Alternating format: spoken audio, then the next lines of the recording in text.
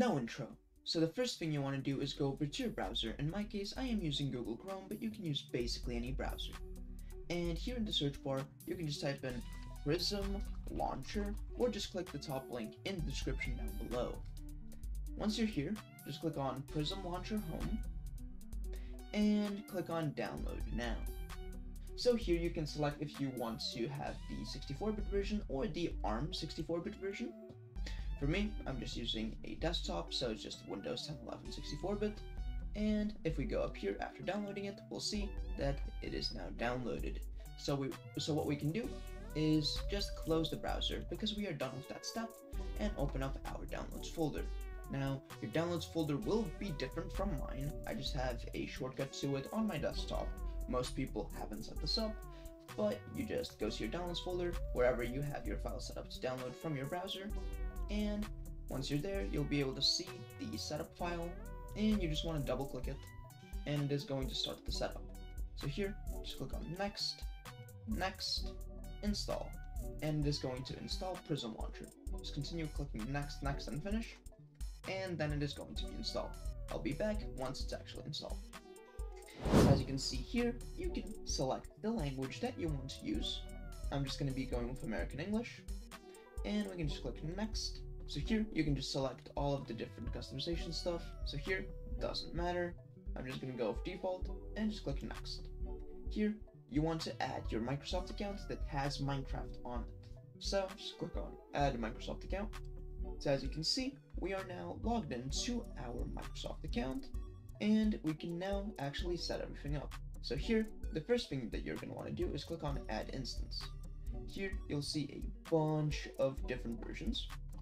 So here we have all the vanilla stuff, here we have all the modded stuff. So for example, if I go over to Modrinth, we can select a different mod pack, for example, and that is going to allow us to play with Fabulously Optimized. But for now, we're just going to open up Custom, aka Vanilla, and select 1.21.10. This is what it will look like right after you have set up your first instance, and if you want to launch it, you just double click on the Minecraft block right here, and it's going to start up the instance. However, there are a few things we need to go over before we actually start up the instance. So, if you right click, you'll see you have a bunch of different options here.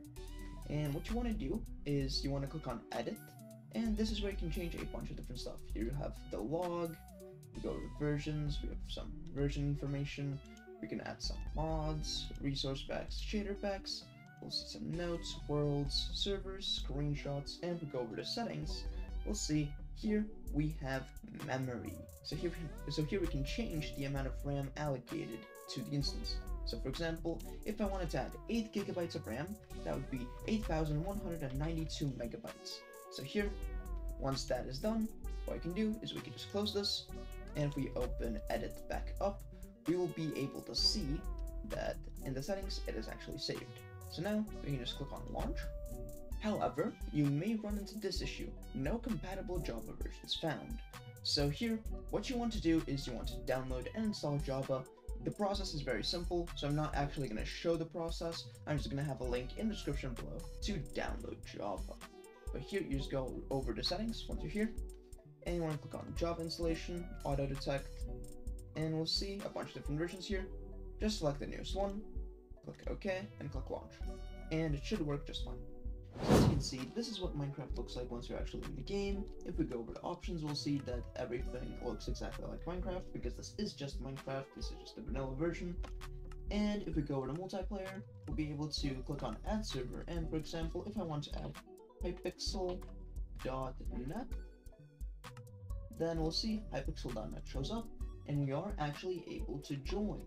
Because once again, this is a completely legitimate way of playing Minecraft. It's a completely legitimate launcher with no weird cracked issues. This is just a launcher for the game. Assuming that you use your Microsoft account that has Minecraft on it, everything will work just fine. So, that is it for this video. If you want to see more videos like this one, don't forget to like and subscribe and turn on notifications, and I will be seeing you in the next one. Peace.